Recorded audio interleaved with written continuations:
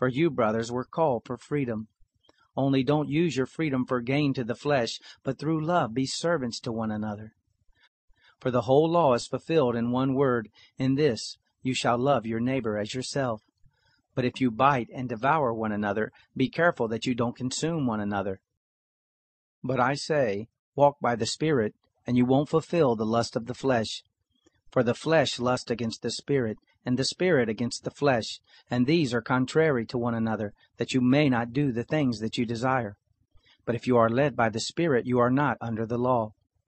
Now the works of the flesh are obvious, which are adultery, sexual immorality, uncleanness, lustfulness, idolatry, sorcery, hatred, strife, jealousies, outburst of anger, rivalries, divisions, heresies, envyings, murders, drunkenness, orgies, and things like these of which I forewarn you, even as I also forewarned you, that those who practice such things will not inherit the kingdom of God.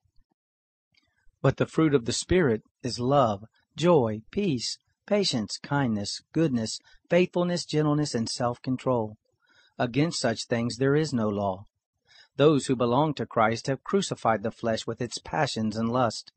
If we live by the Spirit, let us also walk by the Spirit. Let's not become conceited, provoking one another and envying one another.